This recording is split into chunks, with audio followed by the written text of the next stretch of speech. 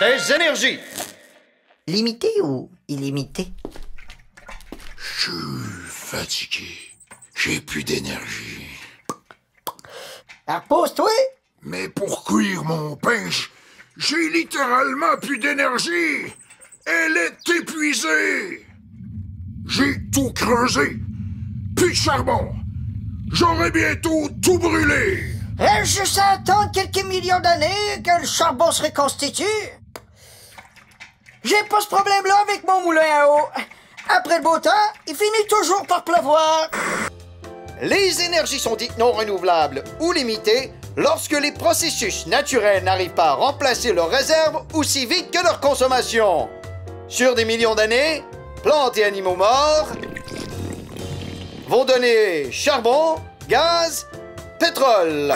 Les énergies sont dites renouvelables ou presque illimitées quand leurs réserves sont remplacées aussi vite que leur consommation. Au rythme quotidien et saisonnier.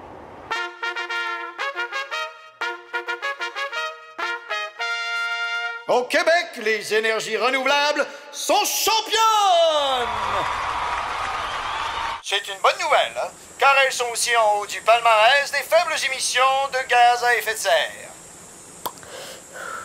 Et plus d'énergie renouvelable, ça te redonnerait de la vigueur.